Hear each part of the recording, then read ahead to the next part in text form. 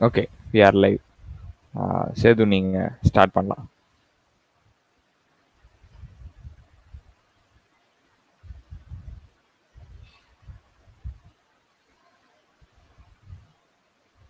Hello Sethu?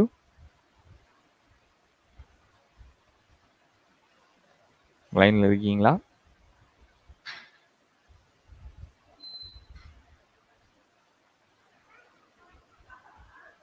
I think network இஷ்யூன்னு நினைக்கிறேன். So லைவ்ல பார்த்துட்டு இருக்க எல்லாருக்கும் வணக்கம். ஸோ நீங்கள் பார்த்துட்டு இருக்கிறது வந்து காஞ்சியில் கூட மந்த்லி மீட்டிங் ஸோ நவம்பர் மாதம் twenty November twenty twenty four monthly meeting இன்றைக்கி நம்ம கையில் வந்து ஸ்கெடியூலாக இருக்க டார்க் என்ன அப்படின்னு பார்த்தோன்னா வந்து போஸ்ட் கிரேஸோட ஆர்கிடெக்சர் பற்றி தமிழில் வந்து எக்ஸ்பிளைன் பண்ணுறதுக்கு சேது பாண்டியன் அப்படின்ற ஒரு ஸ்பீக்கர் வந்து இப்போ நம்ம கூட இணைஞ்சிருக்காரு. ஸோ அவர் ரெடி ஆனதுக்கப்புறம் we can start the talk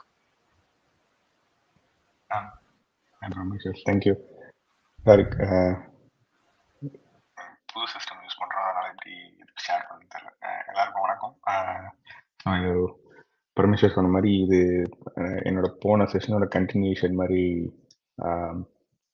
வச்சுக்கலாம். ஸோ போன செஷன் வந்து நம்ம டேட்டாபேஸ் இன்ட்ரடக்ஷன் பார்த்தோம். ஸோ டேட்டாபேஸ் இன்ட்ரடக்ஷனில் எப்படி டேட்டாபேஸ் ஒர்க் ஆகுது? ஸோ எல்லாமே வந்து ரொம்ப சிம்பிளான ஒரு எல்லாருக்கும் புரிகிற மாதிரியான ஒரு அப்ரோச்சில் பார்த்தோம். ஸோ அதில் வந்து ஒரு இம்பார்ட்டன்ட் பாயிண்ட் சொல்லியிருந்தேன் என்னென்னா நீங்கள் டெவலப்பராக இருக்கலாம் அட்மினாக இருக்கலாம் ஸோ யாராக இருந்தாலும் ஆர்கிடெக்சர் வந்து ரொம்ப முக்கியம் அப்படின்னு சொல்லுங்க ஏன்னா எப்படி ஒன்று ஃபங்க்ஷன் ஆகுது? அப்படின்னு தெரிஞ்சாதான் நம்ம வந்து அதை எப்படி எஃபிஷியண்டாக யூஸ் பண்ணுறதுங்கிறதுக்கு நம்ம அப்ரோச் பண்ண முடியும். ஸோ அதனால் இந்த டேட்டா பேஸ்னு இல்லை. எந்த டேட்டா பேஸ்னாலுமே வந்து அதோட பேக்ரவுண்ட் எப்படி ஒரு டேட்டா செலக்ட் பண்ணும்போதோ ஒரு அப்டேட் பண்ணும்போதோ டேட்டா பேஸில் எந்த ஆப்ரேஷன் பண்ணும்போதும் அந்த அந்த அந்த ஆப்ரேஷன் எப்படி ஒர்க் ஆகுது பின்னாடி என்ன நடக்குது எதெல்லாம் இருக்குது அப்படின்றத தெரிஞ்சுக்கிட்டா இன்னும் பெட்டராக நம்ம அதை யூஸ் பண்ணலாம். ஸோ அதுக்கு ஒரு பெஸ்ட் எக்ஸாம்பிள்னா என்ன சொல்லலாம்னா இப்போ நார்மலாக ஒரு டேட்டாபேஸ் அட்மின்கிட்ட போய் நீங்கள் கேட்டிங்கன்னா அதாவது டேட்டாபேஸ் ஆர்கிடெக்சரோ இல்லை டேட்டாபேஸ் பேக்ரவுண்ட் இல்லாதவங்க என்ன பண்ணுவாங்கன்னா கொரி எழுத சொன்னால் ரொம்ப ரொம்ப ஸ்ட்ரைட்டாக ஒரு கொரி எழுதுவாங்க. ராவாக ஒரு கொரி எழுதுவாங்க. ஸோ அது அதோட இம்பேக்ட் வந்து எப்படி இருக்குன்னா ஒரு கன்கரண்ட்டாக ஒரு ஒரு ஆயிரம் டேட்டாபேஸ் யூசர்ஸ் யூஸ் பண்ணுறாங்க அப்படின்னா ஏதோ டெஸ்ட் பண்ணுறாங்க அப்படின்னா இவர் வந்து அந்த பேக்ரவுண்ட் இல்லாதனால என்ன பண்ணுவாருன்னா ரொம்ப அவருக்கு ஏற்ற மாதிரி எழுதிட்டு போயிடுவார். சரி ஒரு எக்ஸாம்பிள் சொல்கிறேங்க டேட்டாபேஸில் வந்து டிரான்சாக்ஷன் இருக்கு. எப்படி சொல்லுவாங்கன்னா transaction begin transaction commit so நீங்கள் டேட்டாபேஸில் வந்து என்னோட சேஞ்சஸ் எப்படி ஒர்க் ஆகுது அப்படின்னு பார்க்குறதுக்கு ஒரு பிகின் டிரான்சாக்ஷன் கொடுத்து ஒரு அப்டேட் கொடுத்துருவீங்க. ரைட் அப்படி கொடுத்தீங்கன்னா என்ன ஆகுதுன்னா டிரான்சாக்ஷன் பிகின் ஆயிடுச்சு. அப்டேட் கொடுத்துட்டீங்க. ஆனால் அது டேட்டா பேஸ்லையும் கமிட் ஆகலை. உங்களுக்கு மட்டும் அந்த சேஞ்சஸ் தெரியும். ஸோ நார்மலாக இந்த பேக்ரவுண்ட் தெரியாதவங்க என்ன பண்ணுவாங்கன்னா பிகின் போட்டுட்டு அப்டேட் கொடுத்துட்டு ஓகே ஒர்க் ஆகுது அப்படின்னு சொல்லிட்டு விட்டுருவாங்க. ஆனால் அது வந்து அந்த டேபிளுங்கிறத லாக்கிங்னு ஒரு மெக்கானிசம் இருக்குது அது என்னன்னா வேற யாரையும் அந்த டேபிளை அக்சஸ் பண்ண விடாது ஸோ ரீட் பண்ணவோ அப்டேட் பண்ணவோ எது பண்ணவும் கூடாது. ஸோ இந்த மாதிரி வந்து இது ஒரு ஒரு சின்ன எக்ஸாம்பிள் ஒரு சினாரியோ சொல்கிறேன் நான். இது மாதிரி நிறைய நிறைய இருக்கு. ஒரு செலக்ட் ஸ்டேட்மெண்ட் யூஸ் பண்ணுறதுலேருந்து ஒரு வேர் கண்டிஷன்ஸ் யூஸ் பண்ணுறதுலேருந்து நிறைய இருக்கு. எப்படி வந்து எஃபிஷியண்ட்டாக யூஸ் பண்ணணும்? எப்படி எஃபிஷியண்ட்டாக கொரி எழுதணும்? டெட்லாக் இல்லாமல் எப்படி எழுதணும்? இந்த மாதிரி நிறைய கான்செப்ட் இருக்கு. ஸோ இது எல்லாத்துக்குமே வந்து ஒரு பேசிக் லெவல் ஆர்கிடெக்சர் நான் சொல்றது எக்ஸ்டென்சிவாக போய் அதோட ஒவ்வொரு சின்ன சின்ன ப்ராசஸும் தெரிஞ்சுக்கணும்னு அவசியம் கிடையாது. பட் பேசிக்கான லெவலில் ஆர்கிடெக்சர் தெரிஞ்சுக்கிட்டா it is always better so அந்த வகையில் போஸ்ட்கிரஸ் ஆர்கிடெக்சருக்கு ரொம்ப சிம்பிளாக நான் ப்ரிப்பேர் பண்ணியிருக்கேன். இந்த குரூப்பில் யாராவது போஸ்ட்கிரஸ் தெரிஞ்சவங்க இருந்தீங்கன்னா இதில் ஏதாவது மிஸ்டேக்ஸ் இருந்தாலும் ப்ளீஸ் ஃபீல் ஃப்ரீ ஸோ இதுதான் நான் நீங்கள் நெட்டில் சர்ச் பண்ணிங்கன்னா நிறைய விதமான ஆர்கிடெக்சர் இருக்கும். நான் ப்ரிஃபர் பண்ணுறது இது எல்லாத்துக்குமே புரிகிற மாதிரி ஒரு ஸ்ட்ரக்சராக வச்சுக்கலாம் அப்படின்னு சொல்லிட்டு இந்த மாதிரி வச்சுருக்கேன். ஸோ இது எப்படி சொல்றது? ஒரு ஒரு ஒரு ஒரு கம்பெனியோ ஒரு ஒரு சே ஒரு ஒரு இதுலயே கீயாக கீயா கீ மெம்பர்ஸ்ன்னு சொல்லியிருப்பாங்களே அந்த மாதிரி ஒரு கான்செப்ட்ல நான் இதை எடுத்திருக்கேன். ரைட் ஸோ இது இப்படி சிம்பிளாக அசியூம் பண்ணிக்கோங்க. இது இது புரிஞ்சுக்கிட்டாலே நம்ம வந்து எப்படி ஒர்க் ஆகுது? டேட்டாபேஸ் எப்படி போஸ்ட்கிரஸ் எப்படி ஒர்க் ஆகுது? எப்படி நம்ம ஒரு செலக்ட் ஸ்டேட்மெண்ட் கொடுத்தா எப்படி ஃபங்க்ஷன் ஆகுது? இது எல்லாமே நம்மளுக்கு புரிஞ்சுக்கிறதுக்கு வாய்ப்பு இருக்கு. ஸோ ஸ்டெப் ஒன் இப்போ நீங்கள் தான் கிளைண்ட் ஒரு சிஸ்டமுக்கு வெளியில் இருக்கீங்க ஒரு அப்ளிகேஷன் யூஸ் பண்ணுறீங்க அந்த அப்ளிகேஷன் போஸ்ட்கிரஸ் கனெக்ட் பண்ணுது அப்படின்னா நீங்கள் தான் கிளைண்ட் ரைட் ஸோ அந்த இடத்துல நீங்கள் என்ன பண்ணுவீங்க? டேட்டாபேஸை ஃபஸ்ட்டு கனெக்ட் பண்ணிடுறீங்க எப்படி கனெக்ட் பண்ண ட்ரை பண்ணுவீங்க டேட்டாபேஸ்க்கு ஒரு ஹோஸ்ட் நேம் இருக்கும் யூசர் நேம் இருக்கும் பாஸ்வேர்டு இருக்கும் போர்ட் நம்பர் இருக்கும். ஸோ இது எல்லாத்துக்கும் எல் ஆல்மோஸ்ட் எல்லா டேட்டாபேஸ்க்கும் சேம் ஆருக்குள்ள சர்வீஸ்ன்னு சொல்லுவாங்க சர்வீஸ் ஐடின்னு சொல்லுவாங்க எஸ்ஐடின்னு சொல்லுவாங்க சீக்வலில் வேறு மாதிரி சொல்லுவாங்க. இதில் வந்து நாலு கீ எலிமெண்ட்ஸ் தேவைப்படும். யூசர் ஐடி பாஸ்வேர்டு இது port number and service host so இது நாலு சொல்லுவாங்க. இது நாலும் கொடுத்துட்டீங்க. ஓகே ஃபர்ஸ்ட் அப்போ இந்த ஃபர்ஸ்ட் கொடுத்த உடனே இது என்ன பண்ணும் அப்படின்னா இந்த போஸ்ட் மாஸ்டர்னு ஒரு இது இருக்கு. ஸோ இவங்கள வந்து எந்த ஒரு கனெக்ட் எவ்ரி கனெக்ஷனுக்கும் இந்த போஸ்ட் மாஸ்டர் வந்து என்ன பண்ணுவோம் போஸ்ட்கிரஸ் பேக்ரவுண்ட்ல என்ன பண்ணும் அப்படின்னா சேது சாரி ஸ்க்ரீன் ஏதாவது ஷேர் பண்ணிட்டு இருக்கீங்களா லைக் ஜிட்சி. ஸ்க்ரீன் தவிர. இல்லையே. பண்ணிட்டு இருக்கேன் ஜிட்சி? இப்போ கரண்டா எந்த ஸ்க்ரீன்ல இருக்கு? எங்களுக்கு ஜிட்சி ஸ்க்ரீன் தான் தெரியுது. ஓ சாரி ஒரே நிமிஷம். ஒரே நிமிஷம். நீங்க வேணா ஸ்க்ரீன் ஷேர் ஸ்டாப் பண்ணிட்டு என்டையர் ஸ்க்ரீன் வேணா ஸ்க்ரீன் ஷேர் பண்ணுங்க. இல்ல வந்து பர்டிகுலர் ஸ்க்ரீன்னா எந்த விண்டோ மட்டும் கரெக்டா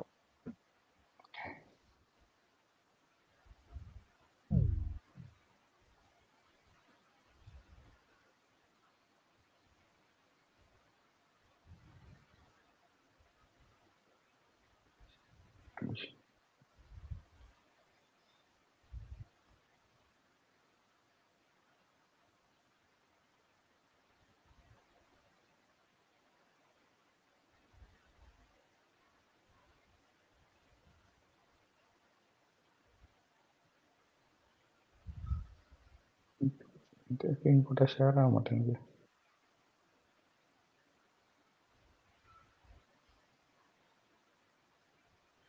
நான் ட்ராப் பண்ணிட்டு ஜாயின் பண்ணிட்டுமா பர்மிஷன் ஆ ஜெய் ரீஜன் பிரச்சனை இல்லை. Sorry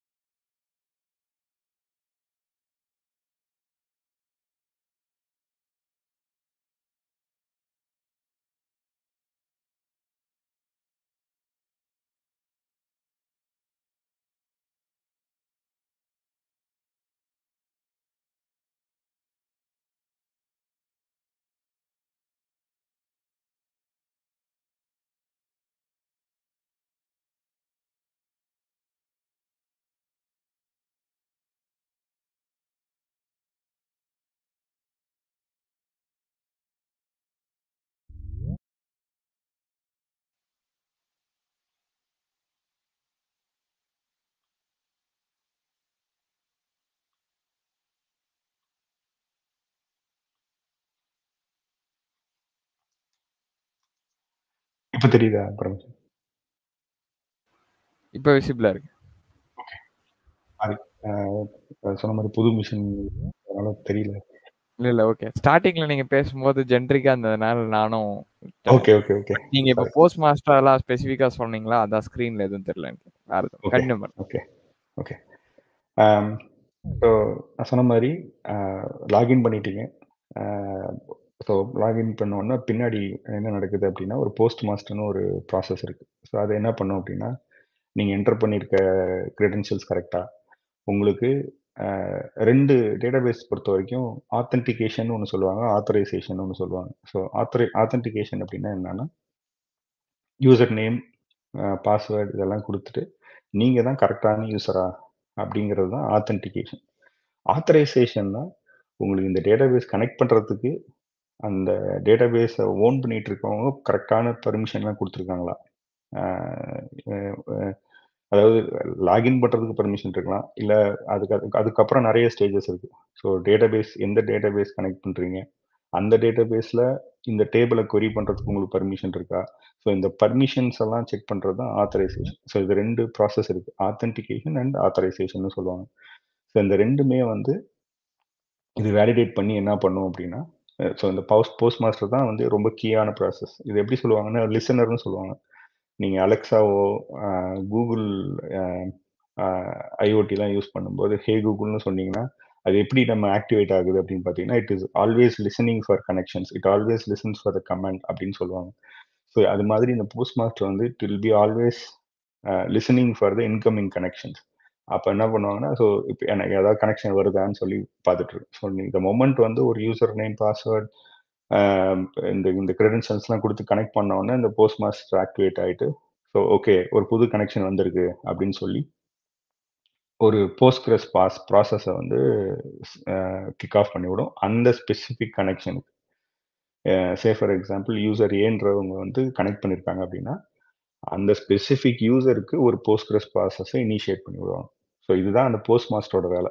So it always listen listens for the connection அது கனெக்ஷன் ரிக்வெஸ்ட் வந்த உடனே அதை ஆத்தென்டிகேட் அண்ட் ஆத்தரைஸ் பண்ணிட்டு போஸ்ட்கிரஸ் ப்ராசஸை கிக் ஆஃப் பண்ணிவிடும் ஸோ இதுதான் ஃபர்ஸ்ட் ஸ்டெப் ரிகார்ட்லஸ் ஆஃப் நீங்கள் அதுக்கப்புறம் என்னென்ன ப்ராசஸ் பண்ணுறீங்களோ அதெல்லாம் அப்புறம். ஃபஸ்ட்டு ஸ்டெப்புன்றது இந்த post master and Postgres process so Postgres process okay set ஆகிடுச்சு ஸோ இப்போ என்ன நடக்கும் அப்படின்னா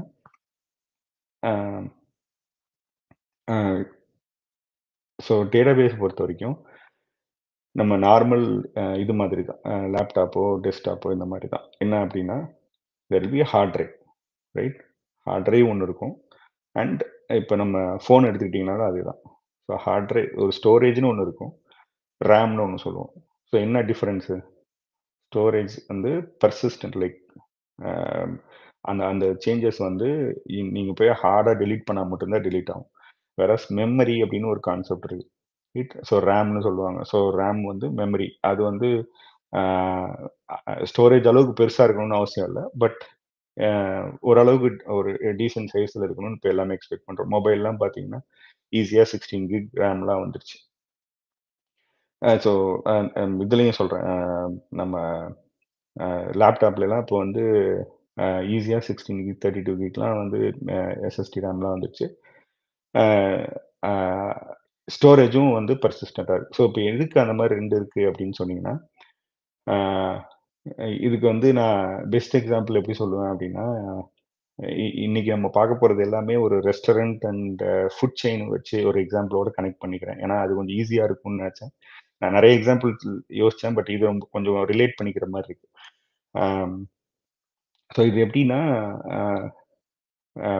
மெமரி ஏரியாவில் வந்து எப்படி இப்போ டி டிஸ்கில் இருக்கு.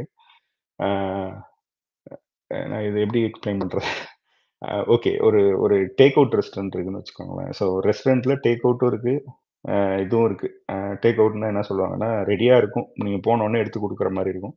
இன்னொன்று வந்து நீங்கள் ஆர்டர் பண்ணால் செஞ்சு எடுத்துகிட்டு வர மாதிரி இருக்கும்.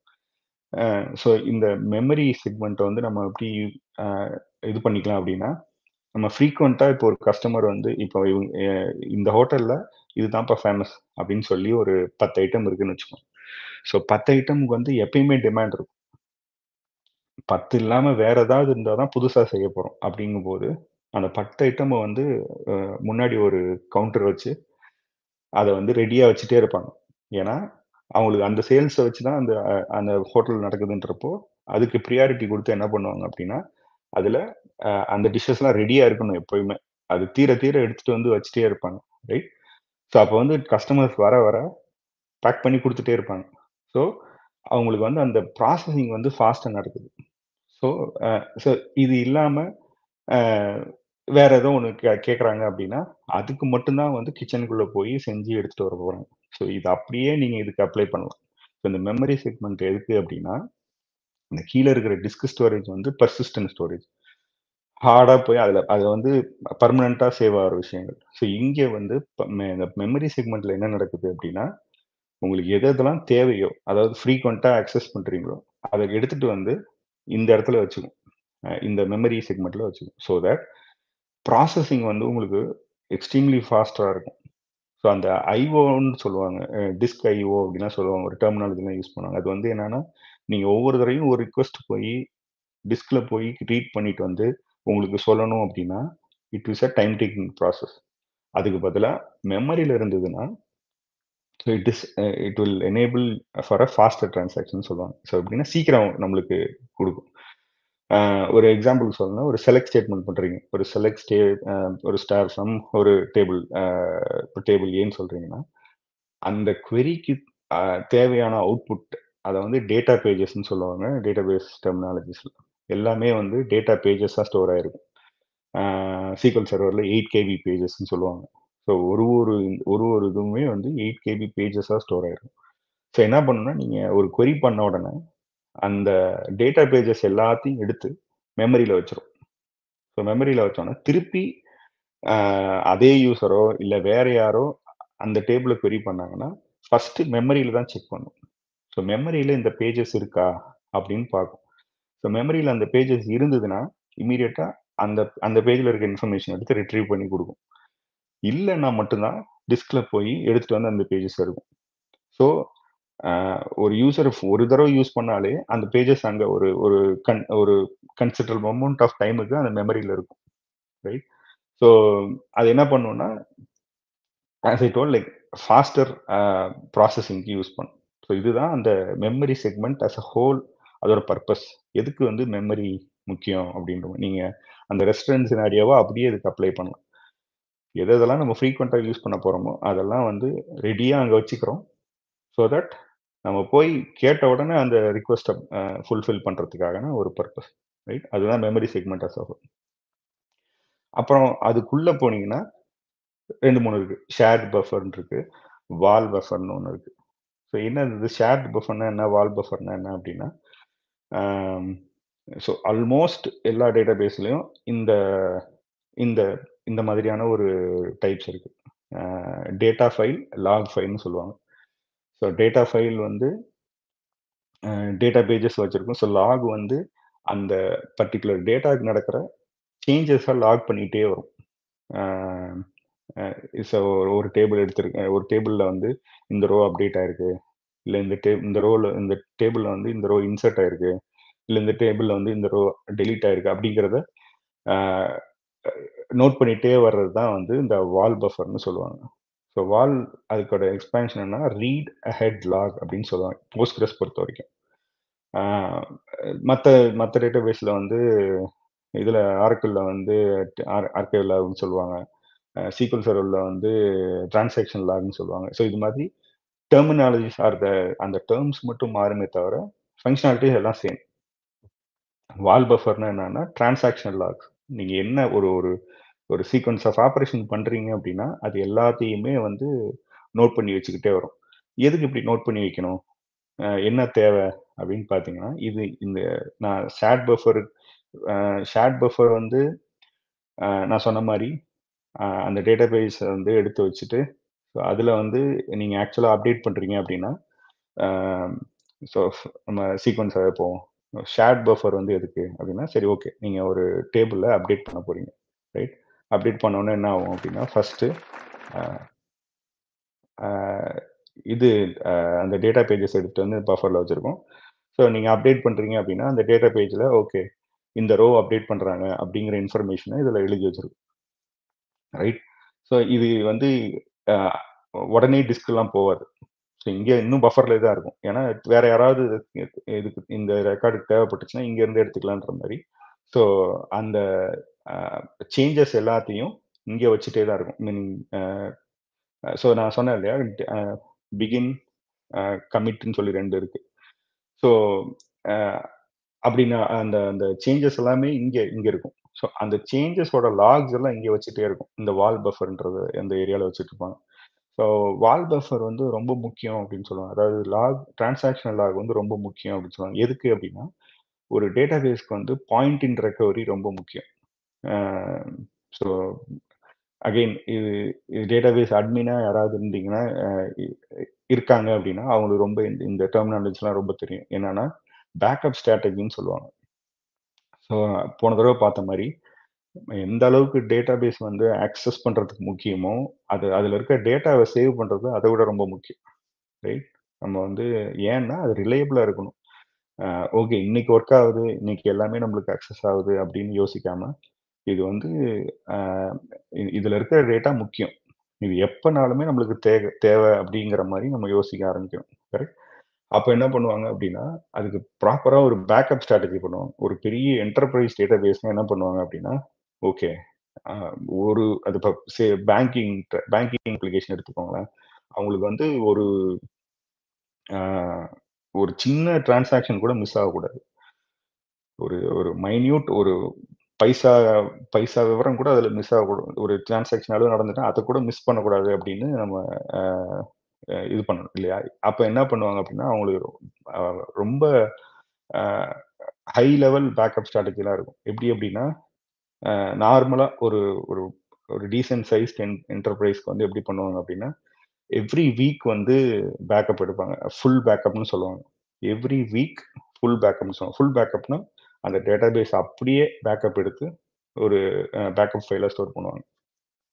அப்புறம் ஸோ அது வால்யூம் பெருசாக இருக்கிறனால டெய்லி ஃபுல் பேக்கப் எடுக்க முடியாது. ஸோ ஃபுல் பேக்கப் எடுக்கிறதுக்கு ரொம்ப டைம் எடுக்கும். சரி உங்களோட ஹார்ட் டிஸ்க்கை வந்து ஒரு ஒன் டிபி ஹார்ட் டிஸ்க் நீங்கள் பேக்கப் எடுக்கிறீங்க அப்படின்னா அதுக்கு எவ்வளோ டைம் எடுக்கணும்னு யோசிச்சுக்கோங்க. ஸோ அந்த மாதிரி ஒரு பெரிய என்டர்பிரைஸ்க்கான மல்டி டெராபைட் பேக்கப் எடுக்கணும்னா டைம் ஆகும். ஸோ அதனால் வீக்லி இது ஒரு ஸ்கெடியூலாக வச்சு பேக்கப் எடுப்பாங்க. ஸோ அதை வச்சுப்பாங்க. ஸோ டெய்லி ஒரு டிஃபரன்ஷியல் பேக்கப்னு சொல்லுவாங்க. டிஃபரன்ஷியல்னா அந்த ஃபுல் பேக்கப்பில் இருந்து அதுக்கப்புறம் நடந்த சேஞ்சஸ் அப்படின்னு சொல்லி வச்சுட்டு டெய்லி நைட்லி பேக்கப் எடுப்பாங்க. ஸோ அது டிஃபரன்ஷியல்னு சொல்லுவாங்க. அது இல்லாமல் டிரான்சாக்ஷனல் லாக் பேக்கப்னு சொல்லுவாங்க. ஸோ இதுதான் இது இது இதுவும் வந்து எவ்ரி ஃபோர் ஹவர்ஸ் அப்படின்னு எடுப்பாங்க. இது மூணும் அல்லாமல் இருக்கிறது தான் இந்த லாக் ஃபைல்னு சொல்லுவாங்க. ஸோ இந்த லாக் ஃபைல் வந்து எதுக்கு அப்படின்னா இந்த நான் சொன்னேன் இல்லையா? ஒரு டேபிள் எடுத்திருக்காங்க. அந்த டேபிள்ல இந்த ரோ அப்டேட் பண்ணியிருக்காங்க இந்த ரோ டிலீட் பண்ணியிருக்காங்க இதுல ஒரு ரோ இன்சர்ட் பண்ணியிருக்காங்க அப்படின்னு சொல்லி இந்த லாகை வந்து மெயின்டைன் பண்ணிக்கிட்டே வரும். ஸோ எதுக்கு யூஸ் ஆகுது அப்படின்னா சப்போஸ் ஆல் ஆஃப் சடன் இந்த சிஸ்டம் கிராஷ் ஆயிடுச்சு அப்படின்னா உங்ககிட்ட ஃபுல் பேக்கப் இருக்கும். சரி நம்ம ஒரு புதன்கிழமை புதன்கிழமை டைம் லைன்ல இருக்கோம். ஓகே புதன்கிழமை மத்தியான டைம் லைன்ல இருக்கோம்னு வச்சுக்கோங்க. ஸோ ஓகே கிராஷ் ஆயிடுச்சு சிஸ்டம் கிராஷ் ஆயிடுச்சு. அப்போ ஃபர்ஸ்ட் ஸ்டெப் ஒரு அட்மினா என்ன பண்ணுவாங்க அப்படின்னா ஓகே இப்போ வந்து நம்ம கிட்ட ஒரு ஃபுல் பேக்கப் இருக்கு. எப்போ ஞாயிற்றுக்கிழமை எடுத்த மாதிரி ஒரு ஃபுல் பேக்கப் இருக்கு. ரைட் அதை வச்சு ரெஸ்டோர் பண்ணியாச்சு. ஸோ ஞாயிற்றுக்கிழமை வரைக்கும் நம்மளுக்கு டேட்டா செக்யூர் ஆயிடுச்சு. அப்புறம் திங்கக்கிழமை நைட்டு ஒரு டிஃபரன்ஷியல் பேக்கப் எடுத்தோம்னு வச்சுக்கோங்க. ஸோ திங்கக்கிழமை டேட்டா செக்யூர் ஆயிடுச்சு. ஸோ செவ்வாய்க்கிழமை செக்யூர் ஆயிடுச்சு. புதன்கிழமை காலையிலேருந்து எவ்ரி ஃபோர் ஹவர்ஸ் எடுத்துருவோம். ஸோ நாலு எட்டு நம்ம ஒரு மணிக்கு கிராஷ் ஆகிடுக்குன்னு வச்சுட்டா எட்டு பன்னெண்டுக்கான டிரான்சாக்ஷன் லாகையும் ரெஸ்டோர் பண்ணியாச்சு. பன்னெண்டு டு ஒன்று என்ன நடந்தது? அந்த இன்ஃபர்மேஷன் நம்மளுக்கு ரெஸ்டோர் பண்ணி ஆகணும். அது எங்கே போய் பார்க்குறது பேக்கப் அப்படிங்கிற ஃபார்மேட்ல நம்மள்ட்ட கிடையாது ரைட் அப்போ அப்போ தான் இந்த வால் பஃபரில் இருக்கிற இந்த லாக்ஸ் வந்து நம்மளுக்கு யூஸ் ஆகும். ஸோ அவங்க என்ன பண்ணுவாங்கன்னா ஒவ்வொரு அந்த டிரான்சாக்ஷன் அந்த டெய்ல் லாக்னு சொல்லுவாங்க. ஸோ இந்த லாகில் இருக்கிற இன்ஃபர்மேஷனை ரெஸ்டோர் பண்ணும்போது இட் கிவ்ஸ் இந்த டியூரபிலிட்டி ஸோ அவ்வளோ சிக்னிஃபிகண்ட்டான ஒரு வேலையை செய்கிறது தான் இந்த வால் பஃபர்னு சொல்லுவாங்க. ஒரு சின்ன பாஸ் எடுத்துக்கிறேன். யாருக்காவது ஏதாவது டவுட் இருந்ததுன்னா இது வரைக்கும் கேளுங்க. நீங்கள் ரொம்ப நான் அது சொன்ன மாதிரி நான் ரொம்ப காம்ப்ளெக்ஸாக சொல்லலை. இதில் நிறைய நீங்கள் போய் நெட்டில் சர்ச் பண்ணிங்கன்னா நிறைய விஷயங்கள் இருக்குது நான் ரொம்ப பிளெயினாக சொல்லிகிட்டு இருக்கேன். ஸோ அதனால் ஏதாவது டவுட் இருந்ததுன்னா கேளுங்க. I try to explain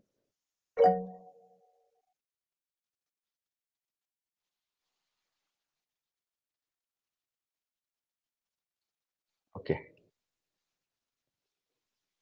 புரிஞ்சிருக்குன்னு நம்புறேன். ஸோ இதுதான் அந்த வால் பஃபர் பஃபர்னாவே உங்களுக்கு தெரியும் இல்லையா? ஸோ இப்போ நம்ம நார்மலாக நம்ம யூஸ் பண்ணுற டேர்ம்ஸ்லேயே வந்து பஃபர் ஆகிட்டு இருக்கு அப்படின்னு சொல்லுவாங்க. என்னன்னா ப்ரோ ஒரு சின்ன டவுட் ஹலோ ஆ சொல்லுங்க. ஆ சொல்லுங்க. ஹலோ ப்ரோ ஆ சொல்லுங்க. இப்ப இந்த பஃபர்னு சொல்றீங்கல்ல இதனோட. அளவு எவ்வளவு இருக்கும்? அது நம்ம மெமரி சைஸ் அத பத்தி சொல்லுங்க. அதுதான். நம்ம கான்ஃபிகர் பண்ணிக்கலாம் அது. இது ஒவ்வொரு சிஸ்டம்க்கும் இப்போ உங்களுக்கு இது எல்லாமே வந்து நம்ம ஃபர்ஸ்ட் செஷனில் பார்த்த மாதிரி இன்ஃப்ராஸ்ட்ரக்சரை சம்மந்தப்பட்ட ஒரு விஷயம். உங்கள் இன்ஃப்ராஸ்ட்ரக்சர் எவ்வளோ பெருசோ லைக் உங்களுக்கு வந்து இப்போ உங்கள் ஆர்கனைசேஷனில் இல்லை உங்களோட வீட்டில் லேப்டாப் எந்த இந்த அளவுக்கான கான்ஃபிகரேஷன் இருக்குது ஸோ ஒன் டிபிக்கான இது இருக்குது மெமரி வந்து சிக்ஸ்டீன் கிக் இருக்குது அப்படின்னு சொன்னீங்கன்னா நீங்கள் அதுக்கு தகுந்த மாதிரி இந்த மெமரி செட்டிங்ஸை நீங்கள் கான்ஃபிகர் பண்ணிக்கலாம். எவ்வளோ மெமரி ஷேர்ட் மெமரி கொடுக்குறீங்க எவ்வளோ வால் பஃபர் கொடுக்குறீங்க. ஸோ இது எல்லாமே வந்து டேட்டாபேஸ் கான்ஃபிகரேஷன் சொல்லுவாங்க. ஸோ நீங்கள் ஃபஸ்ட் ஃபஸ்ட்டு டேட்டா டேட்டாபேஸை வந்து கான்ஃபிகர் பண்ணும்போது இது எல்லாத்துக்குமே நீங்கள் வேல்யூ செட் பண்ணணும். வால் பஃபர் எவ்வளோ இருக்கணும். இன்ஃபேக்ட் நல்ல கொஷின் தான். என்னன்னா எனக்கு வந்து எனக்கு ப பர்ஃபார்மன்ஸ் பயங்கரமாக இருக்கணும் அப்படின்னு சொல்லிட்டு நம்ம இந்த மெமரி செக்மெண்ட்டை இருக்கிற மெமரி எல்லாம் அதுக்கு கொடுக்க முடியாது. கரெக்ட் எனக்கு வந்து பர்ஃபார்மன்ஸில் எந்த குறையும் இருக்கக்கூடாது அப்படின்றதுக்காக ஒரு சிக்ஸ்டீன் கிக் மிஷின் இருக்கு அப்படின்னு சொன்னீங்கன்னா அதில் ஃபோர்டீன் கிக்க மெமரிக்கு மட்டும் நான் கொடுத்துறேன். எனக்கு வந்து பர்ஃபார்மன்ஸ் வந்து ஃப்ளாஷிங் ஸ்பீடில் எல்லாம் வரணும்னு சொன்னீங்கன்னா அதுக்கு அதுக்கு அதுக்கு வந்து அது ரொம்ப ஹை மெமரி கொடுத்துருக்கீங்க. பட் சிஸ்டம் ரிசோர்ஸஸ் இருக்கு. ஸோ மற்ற மற்ற சிஸ்டம் ரிசோர்ஸஸ்லாம் வேலை செய்யணும். ஸோ அதுக்கும் மெமரி தேவைப்படும் இல்லையா? ஸோ அவன் அப்போ என்ன பண்ணணும்னா அந்த மாதிரி ஆப்டிமைஸ்டாக ஒரு வேல்யூ கொடுக்கணும். ஸோ அது எப்போ எப்படி வரும்னா நம்ம ப்ராக்டிஸில் தான் வரும். பெஸ்ட் ப்ராக்டிஸ்னு சொல்லுவாங்க. ஸோ இவ்வளோ இவ்வளோ இருந்தால் இதுக்கு இவ்வளோ கொடுக்கணும் அப்படிங்கிற மாதிரி இருக்கும். உங்களை அப்ளிகேஷன் டைப்பை பொறுத்து இருக்கும். ஸோ நிறைய ஃபேக்டர்ஸ் வந்து டிசைட் அதை வச்சு தான் இந்த சைஸிங்கை வந்து நீங்கள் டிஃபைன் பண்ணுவீங்க. அண்ட் இட் இஸ் கஸ்டமைசபிள் அதை தான் சொல்ல வரேன். ஸோ நீங்கள் எப்படி வேணுமோ உங்களுக்கு கொடுத்துக்கலாம். பட் அதை நான் சொன்ன மாதிரி அது எப்படி கொடுக்கணும் எவ்வளோ கொடுக்கணுங்கிறது வந்து it is it comes out of practice and best practice அப்படின்னு சொல்லுவாங்க. Okay thank you bro thank you okay okay so இதில் நடக்கிற இன்னொரு விஷயம் என்னன்னா டர்ட்டி பேஜஸ்ன்னு சொல்லுவாங்க. டர்ட்டி பேஜஸ்னா என்ன அப்படின்னா ஸோ ஒரு நான் சொன்னேன் இல்லையா ஒரு டேட்டா பேஸில் ஒரு அப்டேட்டோ இன்சர்ட்டோ பண்ணுறீங்க அப்படின்னா அது இங்கேருந்து இந்த இதுலேருந்து எடுத்து டேட்டா பேஜஸாக சீக்வன்ஸ் ஆஃப் டேட்டா பேஜஸாக வந்து ஸ்டோர் பண்ணி வச்சுக்கோம் ஒரு டேபிளுக்கு இந்த இந்த இது ஒரு எயிட் கேபி டேட்டா பேஜஸ் இது ஒரு எயிட் கேபி டேட்டா பேஜஸ் அப்படின்னு சொல்லி அசியூம் பண்ணிக்கிட்டிங்கன்னா டேட்டா பேஜஸ் எடுத்து வந்து வச்சுக்கோம் இங்கே தான் எல்லா மாடிஃபிகேஷன் நடக்கும். ஸோ இங்கேருந்து தான் எல்லாமே ரீடிங் எல்லாம் ஐஓ எல்லாமே இங்கேருந்து தான் நடக்கும். அந்த பர்டிகுலர் டேபிளுக்கு ஷேர் பஃபர்லேருந்து தான் நடக்கும். ஸோ இது இது வந்து எவ்வளவு தூரத்துக்கு இப்படி வச்சிருக்க முடியும்? அப்படின்னு பார்த்தீங்கன்னா அதுக்கும் ஒரு கான்ஃபிகரேஷன் இருக்கு. ஸோ எவ்வளோ நேரத்துக்கு அந்த டேட்டிவ் பேஜஸ் அதில் இருக்கலாம்? எப்போ அது வந்து டிஸ்க்கு போகலாம் அப்படிங்கிற மாதிரி அது அது இருக்கு. ஸோ அது பேர் வந்து செக் பாயிண்ட்னு சொல்லுவாங்க. ஸோ செக் பாயிண்ட் என்னன்னா ஒரு ஹாஸ்டல் வார்டன் இல்லை ஒரு ஸ்கூலில் வந்து எக்ஸாமினேஷன் நடக்கும்போது ஒரு இன்விஜுலேஷன் அந்த மாதிரி யோசிச்சுக்கோங்க. So every now and then அப்படியே வர ஒரு செக் பண்ணிகிட்டே வருவாங்க. ஸோ ஏதாவது ஒர்க் இருந்தால் அதை வந்து எக்ஸிக்யூட் பண்ணிட்டு போயிட்டே இருப்பாங்க. ஸோ அந்த மாதிரி ஒரு செக் பாயிண்ட்னா அதுதான் அசியூம் பண்ணிப்பாங்க. ஸோ டேட் டர்ட்டி பேஜஸ் இந்த ஷேட் பஃபரில் இருக்கு. டர்ட்டி பேஜஸ்னா ஒரு பேஜில் ஒரு சேஞ்ச் நடந்திருக்கு. ஆனால் அந்த சேஞ்சு டிஸ்க்குக்கு இன்னும் போகல. ஸோ அதுதான் டர்ட்டி பேஜஸ் ஸோ ஒரு டேட்டா பேஜில் இந்த பர்டிகுலர் டேபிளுக்கு இந்த ரோவில் ஒரு சேஞ்ச் நடந்திருக்கு அப்படிங்கிறது இங்கே இருக்கும். மெமரியில் இருக்கும். மெமரியில இருந்து ஆனால் டிஸ்க்குக்கு போயிருக்காது. ரைட் ஸோ அதை பண்ணுற ப்ராசஸுக்கு பேர் வந்து செக் பாயிண்ட்னு சொல்லுவாங்க. செக் பாயிண்ட் என்ன பண்ணுதுன்னா ஓகே இதில் சேஞ்ச் நடந்திருக்கு. இந்த சேஞ்ச் நடந்து எக்ஸ் அமௌண்ட் ஆஃப் டைம் ஆயிடுச்சு. எனக்கு கொடுத்துருக்கப்படி இந்த டைமுக்கு இந்த டைம் ஆயிடுச்சுன்னா இந்த டேர்ட்டி பேஜஸ்லாம் மெமரியில் இருக்கக்கூடாது. டிஸ்க்குக்கு போயிடணும் அப்படின்னு சொல்லி கமிட் பண்ணி உள்ளார போகிறது தான் வந்து செக் பாயிண்ட் ப்ராசஸ்ன்னு சொல்லுவாங்க. ஸோ இப்போ நம்ம மெமரியில் ரெண்டு செக்மெண்ட் பார்த்தோம். ஷேட் பஃபர் வால் பஃபர் ஷேட் பஃபரில் டர்ட்டி பேஜஸ்லாம் இருக்கும். இல்லை ஷேட் பஃபரில் வந்து இந்த ஐஓ ஆப்ரேஷன்ஸ் எல்லாமே ஃபஸ்ட்டு லெவல் வந்து அங்கேருந்து தான் நடக்கும். எவ்ரி டைம் டிஸ்கில் இருந்து நடந்தால் that is not an efficient design or efficient process so always preferred வந்து என்னன்னா மெமரியில் கொண்டு வந்து ஒரு டேட்டா டேட்டா பேஜஸை வச்சுட்டு மெமரியிலேருந்து ஆக்சஸ் பண்ணுறது தான் வந்து best practice or preferred way of doing so அப்படி வந்து ஷேர்ட் பஃபரில் uh, இருந்து தான் எல்லாமே நடக்கும். வால் பஃபரில் இந்த டேட்டா பேஜஸ் என்னென்ன சேஞ்சஸ்லாம் நடந்திருக்கு அப்படிங்கிறத ஒரு என்ட்ரி லாக் போட்டுகிட்டே வரும். ஸோ அதுதான் வால் பஃபர் இதோட ரெண்டும் uh, பஃபரில் வரும். அடுத்த ஸ்டேஜ் வந்து என்னன்னா செக் பாயிண்டர் செக் பாயிண்டரில் வந்து என்ன பண்ணுது அப்படின்னா uh, நான் சொன்ன மாதிரி ஓகே இதில் சேஞ்ச் ஆயிருக்கு. பட் ஆனால் இதெல்லாம் வந்து பர்மனெண்ட்டாக டிஸ்கில் போய் ஸ்டோர் ஆகலை அப்படின்னு சொல்லிட்டு ஒரு குறிப்பிட்ட இன்டர்வலில் இந்த ப்ராசஸ் நடந்துகிட்டே இருக்கும். அது போய் டிஸ்கில் வந்து ஹார்ட் கமிட் ஆகும்னு சொல்லுவாங்க. ஸோ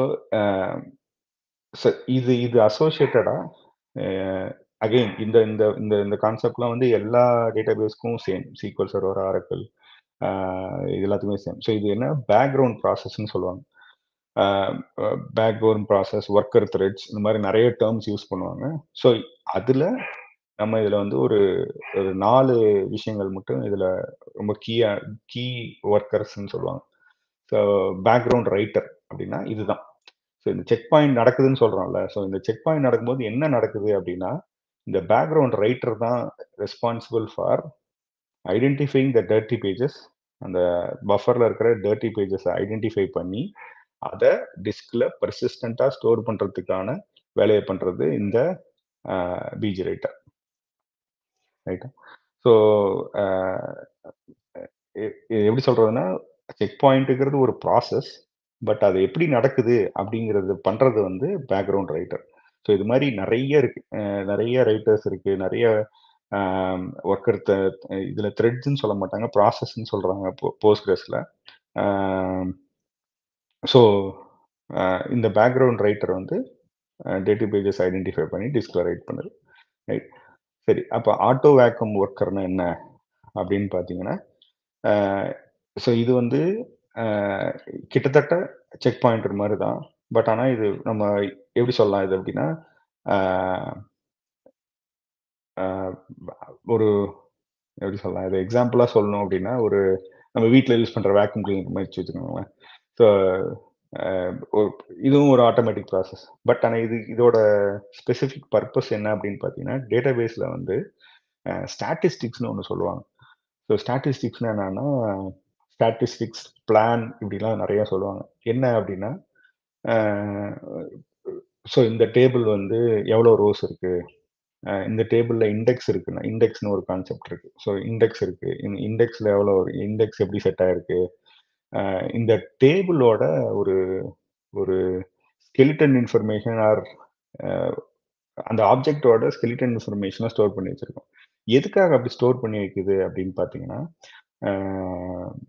ஒரு ஒரு எக்ஸிக்யூஷன் பிளான்னு சொல்லுவாங்க. ஸோ நான் அப்படியே அடுத்தடுத்து ஆட் பண்ணிகிட்டே போகிறேன் யாருக்காவது ஏதோ டவுட் இருந்தால் ஸ்டாப் பண்ணுங்க. ஸோ எதுக்காக அப்படின்னா நீங்கள் அகைன் ஆரக்கிள் சீக்வல் போஸ்ட்ரஸ் எல்லாத்துலேயுமே வந்து எக்ஸிக்யூஷன் பிளான் இருக்கும். எப்படி எக்ஸிக்யூஷன் பிளான்னா என்ன அப்படின்னா ஓகே நான் ஒரு செலக்ட் வரி இஷ்யூ பண்ணிட்டேன். பட் அது எப்படி போகுது? ஒரு பெரிய டேபிள் இருக்குன்னு வச்சுக்கோங்களேன். Millions and billions of rows இருக்கு அதில் அதில் போய் நம்ம போய் நம்ம தப்பாக ஒரு கொரி கொடுத்துட்டோம்னா அது போய் டேபிள் ஸ்கேன்னு சொல்லுவாங்க. டேபிள் ஸ்கேன் இண்டெக்ஸ் ஸ்கேன் இதெல்லாம் சொல்லுவாங்க.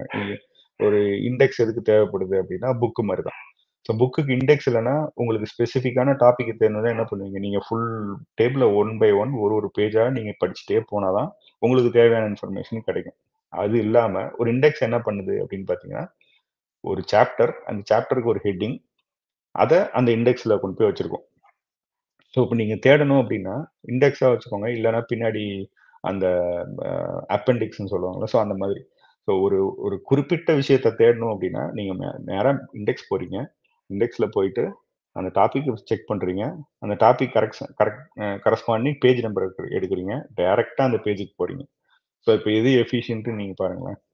ஸோ ஒரு இன்ஃபர்மேஷன் பார்க்குறதுக்கு ஃபஸ்ட்டு பேஜ்லேருந்து கடைசி பேஜ் வரைக்கும் நீங்கள் ஸ்கேன் பண்ணிட்டு போகிறது எஃபிஷியண்ட்டாக இல்லை உங்களுக்கு டாபிக் பேர் தெரியும். அந்த டாபிக் பேர் எடுத்துகிட்டு போய் இண்டெக்ஸில் செக் பண்ணுறீங்க இண்டெக்ஸில் அதுக்கான கரஸ்பாண்டிங் பேஜ் நம்பர் கொடுத்துருக்கு.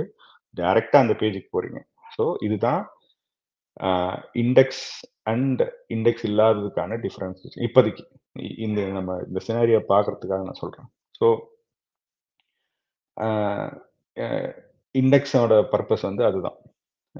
எல்லா இன்ஃபர்மேஷனும் ஸ்டோர் பண்ணியிருக்காது. ஆனால் அந்த பர்டிகுலர் சாப்டருக்கான ஹெட்டிங்கை மட்டும் ஸ்டோர் பண்ணிடும் ஸோ தட் உங்களுக்கு சர்ச் ப்ராசஸ் வந்து எஃபிஷியண்ட்டாக இருக்கும். இப்போ எதுக்கு சொல்ல வந்தேன்னா இந்த ஸ்டாட்டிஸ்டிக்ஸ் வந்து ரொம்ப முக்கியம். ஸோ ஸ்டாட்டிஸ்டிக்ஸ் வந்து கான்ஸ்டண்ட்டாக அப்டேட் ஆகிட்டு இருந்தால் தான் உங்களோட குவெரி அந்த எக்ஸிக்யூஷன் பிளானுங்கிறது வந்து எஃபிஷியண்ட்டாக வேலை செய்ய முடியும். ஸோ ஒரு டேபிளுக்கு வந்து ஃபஸ்ட் இண்டெக்ஸ் இருந்திருக்காரு ஸோ அந்த ஸ்டாட்டிஸ்டிக்ஸில் வந்து இந்த டேபிளுக்கு இண்டெக்ஸ் இல்லை அப்படின்னு இருக்கும். ஸோ அதுக்கப்புறம் பர்ஃபார்மன்ஸை பார்த்துட்டு டிபிஎஸ் என்ன பண்ணுவாங்கன்னா இல்லை இல்லை இந்த டேபிளுக்கு வந்து இண்டெக்ஸ் இருந்தால் தான் பர்ஃபார்மன்ஸ் நல்லா இருக்கும்னு சொல்லுவாங்க. ஸோ அப்போ என்ன பண்ணுவாங்க அப்படின்னா அதுக்கு ஒரு இண்டெக்ஸ் ஆட் பண்ணுவாங்க. ஸோ அந்த இண்டெக்ஸ் ஆட் பண்ணியிருக்குங்கிறத இந்த ஸ்டாட்டிஸ்டிக்ஸில் இருந்தால் தான் நெக்ஸ்ட் டைம் யாராவது கொரி பண்ணுறாங்கன்னா ஃபுல் டேபிள் ஸ்கேன் போகாத இதுக்கு இண்டெக்ஸ் ஆட் பண்ணியிருக்காங்க ஸோ இந்த இண்டெக்ஸை யூஸ் பண்ணி நீ கொரிய ரிசல்ட்டை ஃபெச் பண்ணி கொடு அப்படின்னு சொல்லி அந்த எக்ஸிகியூஷன் பிளானுக்கு தெரியும். ரைட் ஸோ அப்போ என்ன பண்ணுவாங்க அப்படின்னா இதை அந்த ஸ்டாட்டிஸ்டிக்ஸை வந்து கான்ஸ்டண்ட்டாக யாராவது ஒருத்தர் அப்டேட் பண்ணிகிட்டே இருக்கணும். யார் அப்டேட் பண்ணுவாங்க அப்படின்னா இந்த வேக்யூம் ஒர்க்கர் தான் வந்து அப்டேட் பண்ணுவாங்க. ஸோ இதுதான் ஹை லெவலில் நீங்கள் ரொம்ப இன்னும் டீட்டெயிலாக போனீங்கன்னா இண்டெக்ஸ் அதை பற்றிலாம் படிக்கலாம். பட் ஆனால் ஸ்டாட்டிஸ்டிக்ஸ்ன்றதுக்கு வந்து ஒரு டேபிளில் பத்து பத்து ரோ தான் இருக்குன்னு வச்சுக்கோங்களேன். ஸோ அதுக்கு ஒரு இண்டெக்ஸ் தேவையில்லை. சரி, ஒரு புக் பத்து பேஜ் புக்கை வந்து அதுக்கு இண்டெக்ஸ்லாம் வைக்கணும்னு அவசியம் கிடையாது. ஒரு நூறு பேஜ் ஆயிரம் பேஜ் இருக்கிறப்போ அதுக்கு இண்டெக்ஸ் முக்கியம். அது மாதிரி இந்த டேபிளுக்கு பத்து பேஜ் தான் இருக்கு. நீ இண்டெக்ஸ்லாம் தேடாத. டைரெக்டாக போய் ஃபுல் டேபிள் ஸ்கேன் பண்ணி ரிசல்ட் எடுத்து கொடுத்துரு. இல்லை இந்த டேபிள் வந்து ரொம்ப நிறைய ரோஸ் இருக்கு. இதுக்கு இண்டெக்ஸ் இருக்கு. அந்த இண்டெக்ஸ்ல இதுதான் கீ காலம் இதை யூஸ் பண்ணியிருக்காங்க. ஸோ இது இது வழியா நீ போய் சர்ச் பண்ணி ரிசல்ட் எடுத்து கொண்டு போய் கொடு அப்படிங்கிற மாதிரி ஸ்டாட்டிஸ்டிக்ஸ் அப்டேட் பண்ணுறது இந்த vacuum so at a high level so PG writer பார்த்தாச்சு. வேக்கம் ஒர்க்கர் பார்த்தாச்சு. வேல் ரைட்டர் என்ன அப்படின்னு பார்த்தீங்கன்னா இந்த நம்ம வேல் பஃபரில் ஒரு சில விஷயங்கள் படித்தோம். என்ன ஆகுதுன்னா அந்த லாகனை வந்து நம்ம வச்சுட்டே இருக்கு இல்லையா? அந்த இன்ஃபர்மேஷனை பர்சிஸ்டண்ட்டாக ஸ்டோர் பண்ணுறதுக்கு ஸோ பஃபர் வந்து டெம்பரவரி அப்படின்னு ஞாபகம் வச்சுக்கோங்க. ஷேர் பஃபரும் சரி வேல் வேல் பஃபரும் சரி டெம்பரவரியான ஒரு விஷயம். ஸோ வால் ரைட்டர் பீஜ் ரைட்டர் என்ன பண்ணுது? அந்த தேர்ட்டி பேஜஸ் எல்லாம் அந்த செக் பாயிண்ட் ப்ராசஸ் வந்ததுக்கப்புறம் அதை எடுத்து டிஸ்டோரேஜில் பர்சிஸ்டண்ட்டாக ஸ்டோர் பண்ணி. வால் வால் ரைட்டர் என்ன பண்ணுதுன்னா அதே வேலை தான் பட் ஆனால் இந்த வால் பஃபரில் இருக்க இன்ஃபர்மேஷனை டிஸ்டோரேஜில் கொண்டு போடும் ரைட்டா ஸோ இது இது ரொம்ப சிம்பிளான இது ரெண்டையும் கம்பேர் பண்ணுறதுனால இதுக்கு நான் அதிகமாக எக்ஸ்பிளைன் பண்ணல. ஸோ அந்த வால் பஃபரில் இருக்க இன்ஃபர்மேஷனை பர்சிஸ்டண்ட்டாக ஸ்டோர் பண்ணுறதுக்கு வால் ரைட்டர் யூஸ் பண்ணுது ஸோ இப்போ இந்த ஆர்கைவருங்கிறது வந்து இப்போதைக்கு நம்மளுக்கு ரொம்ப பெருசாக தேவையில்லை. ஆனால் டேட்டாபேஸ் வேர்ல்டில் என்ன பண்ணுவாங்க அப்படின்னா டிஸ்க் ஸ்டோரேஜ் இருந்தாலும் சரி பேக்கப்பாக இருந்தாலும் சரி ஒரு ஒரு செகண்டரி பேக்கப்னு ஒன்று இன்னொரு இன்னொரு செட் ஆஃப் பேக்கப்போ இல்லை ஒரு ஸ்டோரேஜோ வச்சுப்பாங்க. எதுக்குன்னா ரொம்ப கிரிட்டிக்கலான அப்ளிகேஷன்ஸுக்கு அந்த மாதிரியான ஒரு ஒரு செட்டப்பும் தேவைப்படும். இது இது பேக்கப் ஃபெயில் ஆயிடுச்சு அப்படின்னா டேப் பேக்கப் அந்த மாதிரி நிறைய விஷயங்கள் இருக்கு. ஸோ அதுக்கு தேவைப்படும். ஸோ இது இது இது இப்போதைக்கு ரொம்ப நம்ம பார்க்க தேவையில்லை.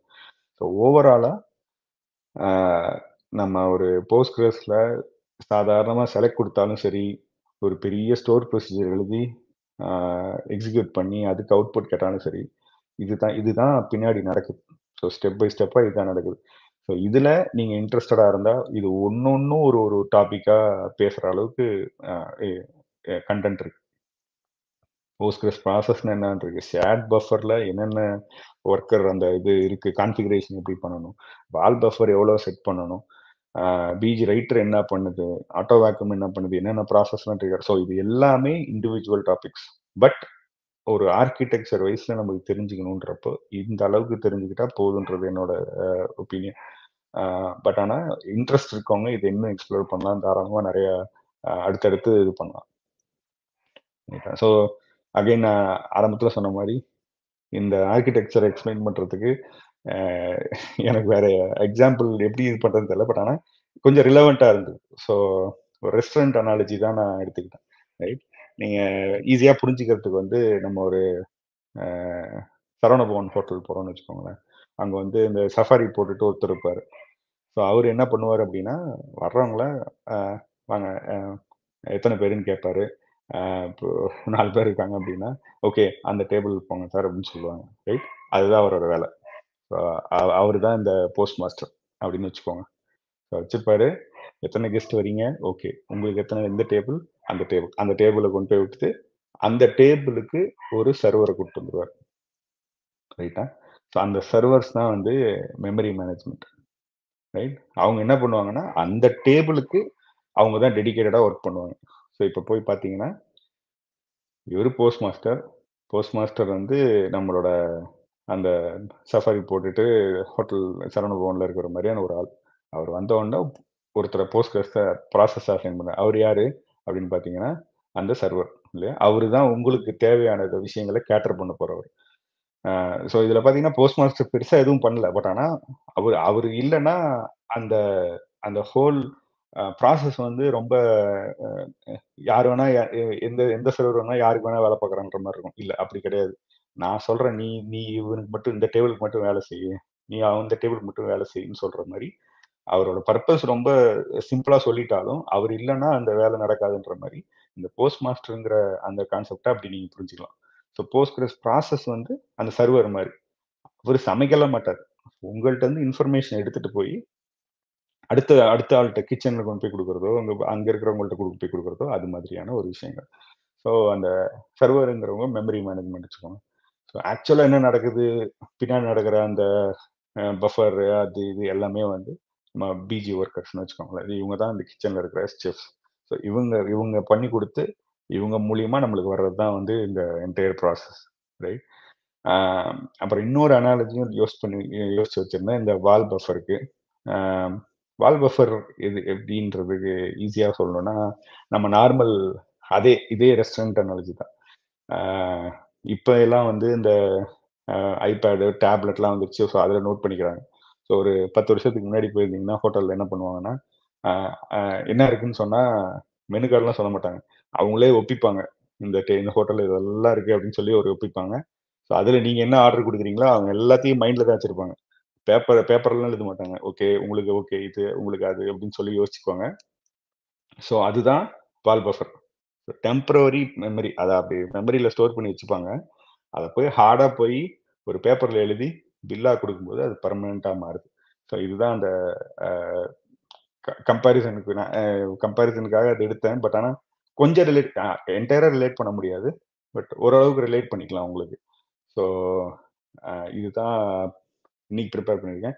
ஸோ அடுத்து டைம் இருக்கான்னு தெரில பட் குவிக்காக நான் அதை முடிச்சிடுறேன். ஒரு எப்படி ஒரு கொரி எக்ஸிக்யூட் ஆகுது அப்படின்னு சொல்லி நம்ம இதில் பார்ப்போமே. ஸோ இதில் நிறைய ஸ்டெப்ஸ் இருக்குது ஒரு query நம்ம எழுதிடுறோம். அது எப்படி பின்னாடி போஸ்ட்கிரஸ் இது பண்ணுது அப்படிங்கிறப்போ பார்சிங்னு சொல்லுவாங்க. ஸோ பாசிங்னா என்னன்னா ஒரு கொரியை வந்து பிட்ஸ் அண்ட் பீசஸாக பிரிக்கிறது. செலக்ட் ஸ்டேட்மெண்ட்டா இது இன்சர்ட்டா ஸோ அந்த மாதிரி ஒரு என்னென்ன யூஸ் பண்ணியிருக்காங்க கீவேர்டு யூஸ் பண்ணியிருக்காங்க ஐடென்டிஃபைர்ஸ் யூஸ் பண்ணியிருக்காங்களா ஸோ இந்த மாதிரி செலக்ட்ன்றது ஒன்று ஓகே அதுக்கப்புறம் என்ன யூஸ் பண்ணியிருக்காங்க காலம் நேம் யூஸ் பண்ணியிருக்காங்களா இல்லை ஆஸ்ட்ரிக் யூஸ் பண்ணியிருக்காங்க ஆஸ்ட்ரிக்னா ஓகே எல்லா காலமும் கேட்குறாங்க இந்த மாதிரி பிரிக்கிறது தான் வந்து அந்த பார்சிங்னு சொல்லுவாங்க. ஸோ சின்டாக்ஸ் வந்து கரெக்டாக எழுதியிருக்கீங்களா அந்த சின்டாக்ஸ் அந்த டேபிள் இருக்கா இல்லையா? அந்த ரோ அந்த காலம் இருக்கா இல்லையா? அதெல்லாம் அப்புறம். பட் செலக்ட் அந்த ரோ ஃப்ரம் டேபிள் நேம் போட்டிருக்கீங்களா? வேர் கண்டிஷன் போட்டிருக்கீங்களா? வேர் கண்டிஷனுக்கு அப்புறம் ஆர்டர் போய் போட்டிருக்கீங்களா? இது எல்லாம் நட ஒழுங்கா எழுதியிருக்கா? அப்படின்னு பார்க்குறது இந்த சின்டாக்ஸ் அனாலிசிஸ்ன்னு சொல்லுவாங்க. ஸோ சிமாண்டிக் அனாலிசிஸ் வந்து என்ன சொல்கிறது அந்த டேபிள் இருக்கா? இப்போ சின்டாக்ஸ் கரெக்டாக பார்சிங் எடுத்துட்டேன். எல்லாத்தையும் பிரிச்சுட்டேன் ஒரு கொரியை அதுக்கப்புறம் சின்டாக்டிக்கலாகவும் அது கரெக்டாக இருக்குது எல்லாமே கரெக்டாக செலக்ட் அந்த ஆர்டர் தான் போட்டிருக்கீங்க. பட் ஆனால் அந்த டேபிள் இருக்கா? அப்படின்னு பார்க்கறது சிமாண்டிக் அனாலிசிஸ்ன்னு சொல்லுவாங்க. ஸோ ஆப்டிமைசேஷன்றது வந்து நான் சொன்ன மாதிரி நிறைய நிறைய ஃபேக்டர்ஸ் இருக்குது ஸோ இது வந்து டேபிள் டைரெக்டாக டேபிளில் போய் பார்க்கணுமா? இல்லை இண்டெக்ஸ் இருக்கா அந்த டேபிளுக்கு அப்படிங்கிற மாதிரி. ஸோ அதுக்கப்புறம் பிளான் மெட்டீரியலைசேஷன் நான் சொன்னது மாதிரி டெஸ்ட் பிளான் இந்த எக்ஸிகியூஷன் பிளான்னு சொல்லுவாங்க இல்லையா? ஸோ அந்த எக்ஸிகியூஷன் பிளான் அதுக்கப்புறம் ஆக்சுவல் எக்ஸிகியூஷன் ஸோ ஆக்சுவல் எக்ஸிகியூஷனில் வந்து அந்த கொரி எக்ஸிக்யூட் ஆகுது. நம்மளுக்கு நம்ம கொடுத்துருக்க கண்டிஷன் எல்லாத்தையும் அப்ளை பண்ணி அந்த ரோ எடுத்து வந்து கொடுக்குது. அந்த அவுட்புட் எடுத்து வந்து கொடுக்குது. ஸோ அதுக்கப்புறம் இந்த ரோ பை ரோ ப்ராசஸிங் இது இது எல்லாமே வந்து சப்சிக்வெண்ட் ப்ராசஸ் ஸோ மெயினாக இந்த எக்ஸிக்யூஷன் வரைக்கும் இதெல்லாம் தான் நடக்குது. நீங்கள் ஒரு கொரி எக்ஸிக்யூட் பண்ண உடனே அடுத்த ஃப்ராக்ஷன் ஆஃப் செகண்ட் நம்ம ரிசல்ட் வருது. பட் ஆனால் பேக்ரவுண்டில் இது எல்லாமே ஒவ்வொரு தடவையும் இதெல்லாம் நடக்குது. பார்சிங் நடக்குது. சின்டாக்ஸ் அனாலிசிஸ் நடக்குது. சிமாண்டிக் அனாலிசிஸ் நடக்குது. And optimisation and plan materialisation execution so இது எல்லாமே நடந்து தான் நம்மளுக்கு ஒரு அவுட்புட் வருது. ஸோ மற்றவங்களுக்கு எப்படின்னு தெரியல. எனக்கு எப்பயுமே இது ஒரு ஃபேசினேட்டிங்கான விஷயம். நம்ம எவ்வளோ கிராண்டடாக எடுத்துப்போம். ஒரு கொரி தப்பாக எழுதுவோம். ஒரு இது எழுதுவோம் ஸோ இது இது எல்லாமே பின்னாடி போய் செக் பண்ணி நம்மளுக்கு ஒரு வேலிடேட் பண்ணி நம்மளுக்கு வருது இல்லையா? ஸோ இது வந்து ஒரு எப்படி சொல்றது ஆச்சரியப்படக்கூடிய விஷயம்தான் பட் ஆனால் நான் சொன்ன மாதிரி இது புரிஞ்சுக்கிட்டோம் அப்படின்னா இது ரொம்பவே இன்ட்ரெஸ்டிங்கான ஒரு டாபிக் தான். ஸோ அதுதான் இன்னைக்கு வச்சிருக்கேன். அடுத்து நான் அடுத்த அடுத்த அடுத்த செஷன்ல இதோட எக்ஸ்டென்ஷனா என்னென்ன பண்ணலாம் இதை எப்படி நம்மளுக்கு இன்னும் கொஞ்சம் கனெக்ட் பண்ணிக்கலாம் அப்படிங்கிற மாதிரி விஷயத்த எடுக்கிறேன் பட் இன்னைக்கு டாபிக் இவ்வளோதான் நான் யோசிச்சு வச்சிருக்கேன் தேங்க்யூ